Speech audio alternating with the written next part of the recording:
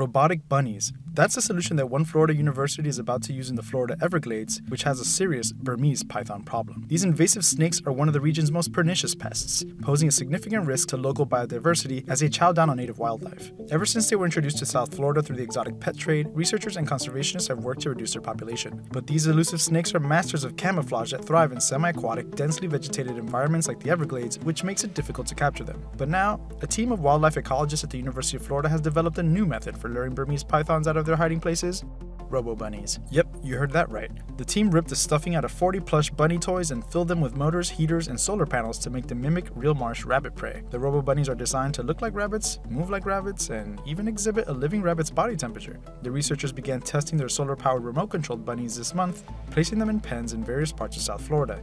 Each Robo Bunny is equipped with a motion sensor camera that alerts researchers when a python approaches. Do you think they'll be able to fool the pesky pythons? For more on this story and stories like these, tap our link in bio and visit gizmodo.com.